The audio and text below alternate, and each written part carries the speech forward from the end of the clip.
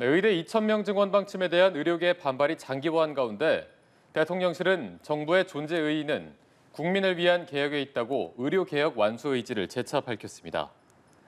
대통령실 핵심 관계자는 오늘 연합뉴스TV와의 통화에서 의료개혁은 미래 세대를 위한 한일 관계 개선 결단과 같은 입장이라면서 윤 대통령은 어려움이 있더라도 국민을 위해 해내야만 한다는 강한 의지를 갖고 있다고 강조했습니다.